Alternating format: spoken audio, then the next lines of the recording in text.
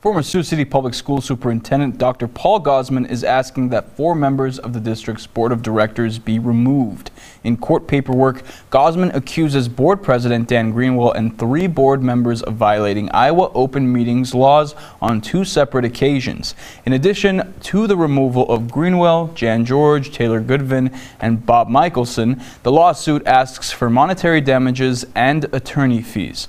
According to court paperwork, Gausman alleges that during meetings on January 24, 2022 and November 30, 2022, the board members, quote, recklessly and knowingly participated in the violations of the Open Meetings Act.